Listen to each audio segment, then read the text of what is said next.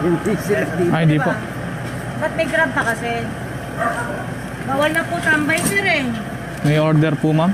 Bawal na nga po sir eh. Oh. Kasi hanggat bukas kayo, may taong lalabas, may magdi-deliver.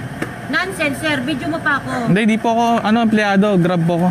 Oo nga eh. Hindi nyo ba naiintindihan? Andito babasahin ko ha. Okay. Curfew hours natin sir. Sige, video mo para maintindihan mo. Sige po. Hindi ba alam ng grab yan? Ngayon, ang Grab po, ang sumusunod lang din po sa IATF eh. Hindi nga. May, may IATF nga Opo. kayo. Pero ECQ tayo sir. Opo. Kuya, dala mo yung memorandum natin. Yung printed. Okay. Teka lang sir, ah, may pinapa-implement tayo. 6 p.m. to 5 Sige po. p.m. Okay? Curfew yan. So, ibig sabihin, Sa picture lang ko lang. oh, sige, si alas 6 ng gabi, Opo. curfew na hanggang alas 5. Opo. Intindihan? Nasa. Okay.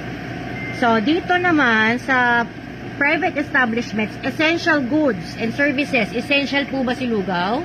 Ano po? Hindi.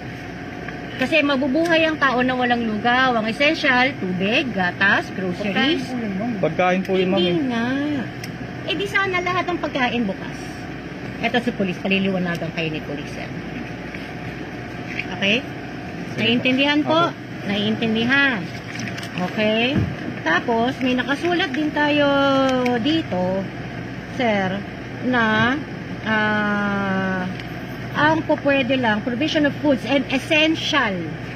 Hindi essential si lugaw. Sana bukas din si bakery. Naiintindihan?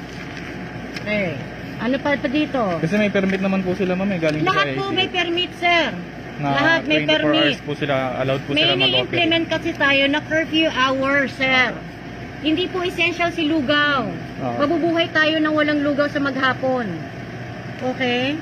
Naintindihan? Delivery and courier services lang. Nagka-transport ng food, medicine, and others essentials. Yes po, kami po. Pero ma'am, kayo ngayon. Diba? Apo, kami po yung Pero nga, sir, hindi nga essential si lugaw. Ah, okay po. Naiintindihan po? Nagets naman po. Eh, ano ma'am? Paano po kayang gagawin niyo, ma'am? Sabihin niyo doon sa grab nyo. Ay, hindi po kami pwedeng mag-concern sa... Kasi rider lang po kami, ma'am eh. Oo nga. Eh, Oo, paano hindi naman na yung, po namin sa- paano po saklaw yung yun. pinapa-implement namin?